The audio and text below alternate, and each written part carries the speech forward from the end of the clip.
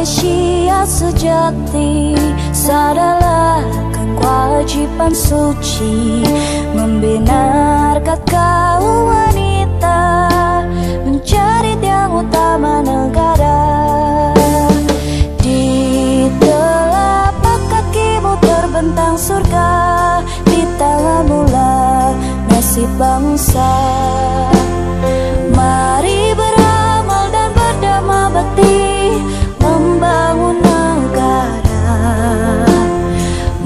Mencipta masyarakat Islam sejati penuh karunia.